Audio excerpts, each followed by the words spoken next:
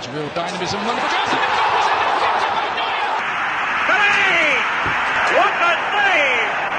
He slaps Messi's header over the bar. And a great save! And on Nolitano, a wonderful save by Schmeichel. cross. There's the cross. There's a oh. brilliant save. That is world class. All the way through. Oh, what a save! Lambert! Oh, magnificent save by Van der Sar. And a great save by Jennings! Ah. That is quite the most remarkable piece of goalkeeping I have ever seen. Crawley's and VAR. He's made the save on the halfway line.